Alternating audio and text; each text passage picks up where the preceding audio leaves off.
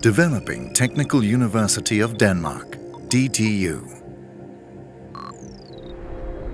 DTU is ranked as one of the foremost technical universities in Europe.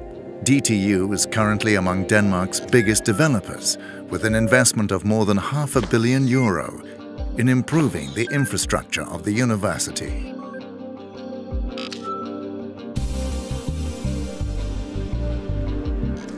Modernization and construction has already begun on DTU's main campus to accommodate Denmark's largest space research environment.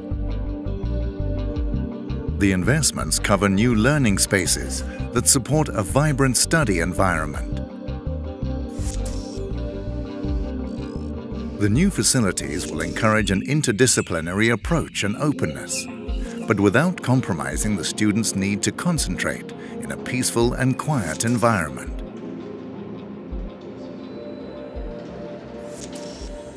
All existing auditoriums on campus will be refurbished and equipped with the latest technology. They will also be redesigned to accommodate today's teaching methods, including group work.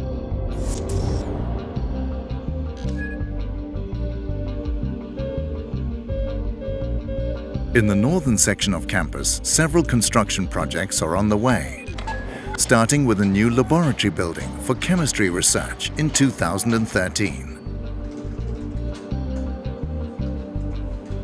This section of campus will become the center for a large research environment in life science and biotechnology. Among the new buildings is a world-leading facility for biotechnological research at the Center for Biosustainability. This new facility will neighbor a large life science and bioengineering complex.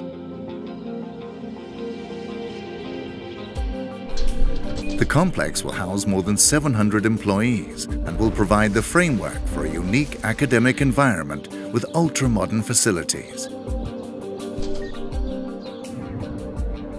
DTU is committed to offering research facilities of the highest international standard the investments will promote cooperation with industry and support our expressed mission to serve as a driver for growth in Denmark.